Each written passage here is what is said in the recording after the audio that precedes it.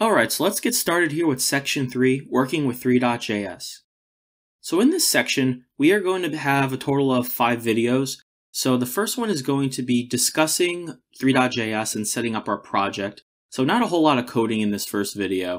Uh, I'm just going to really go over what Three.js really is, and then we are going to do a basic setup for our project to get everybody started. Then we are going to a lot more heavier coding, going with uh, creating a basic scene. And then after that, we are going to be exploring different geometry meshes with Three.js.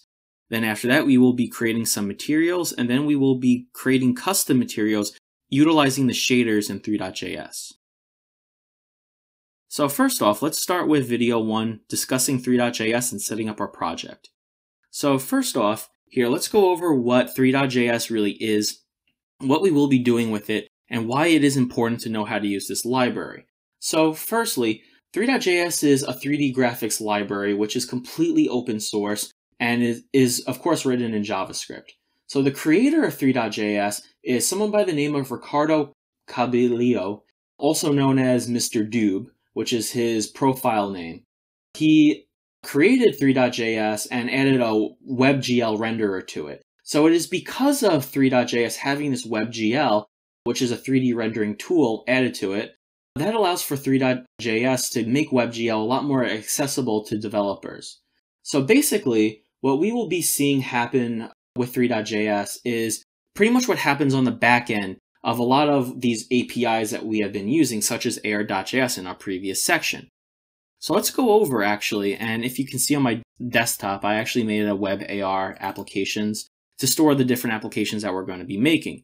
So if we go into our old A-frame application and go into the AR.js master, you can actually spot the Three.js folder right over here. So this is basically what is AR.js pretty much communicating with. So these web APIs basically use the code that you are going to be writing in, like their own custom code, to basically talk with Three.js to tell it to create certain things such as 3D objects, as well as different materials and other designs as well.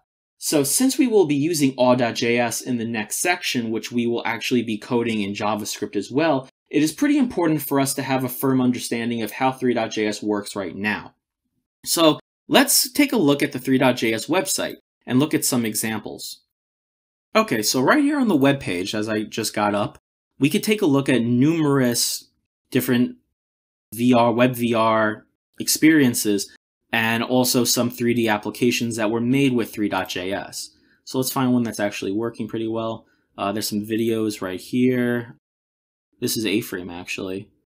Let's see how this one here works. So yeah, actually some people even make games with Three.js, which is also pretty neat. Some of these are fully interactive experiences. But let's actually try to find a design here. Maybe this car. Close it a couple of these here. Okay, so you can see uh, how interactive this really is. You can do a full 360 degree rotation, look at the car through all different angles here, and this was all made with Three.js. So actually what's really cool about this is that a lot of the code here is actually open source. So you could even fork this here at GitHub, pull it down, take a look at how these people made these experiences, and really that's a really great way how to learn Three.js is by looking at other people's code and then evaluating what they did to create it. So let's get started with setting up our project right now. So first off, let's go over to Mr. Doob's GitHub page. And when you get GitHub repo, you can clone the zip file right here. I actually have it already downloaded. So let's unzip it when you are ready. And let's add it to our project folder. So I already have the project folder made, and I also have our 3.js.html file already. So right now, as I said before, this section isn't going to have a whole lot of coding in it right now. However, I just want to show you how to get the project set up. So let's just autofill our HTML, and let's add a title to this, so we'll call it just 3JS. So let's go into the body here, and first we are going to canvas. You definitely will need a canvas for this and we will pass this here an ID of just canvas. So now we have our canvas all set up.